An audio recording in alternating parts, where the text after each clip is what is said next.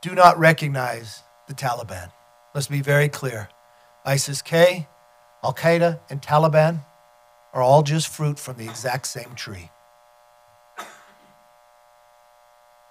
And no wad of cash delivered to the Taliban.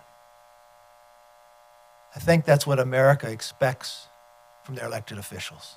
I think that's what America expects from this administration.